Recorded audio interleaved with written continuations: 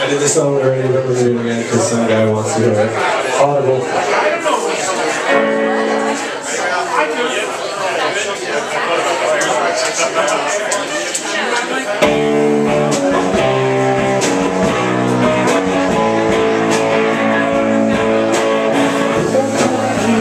Promise to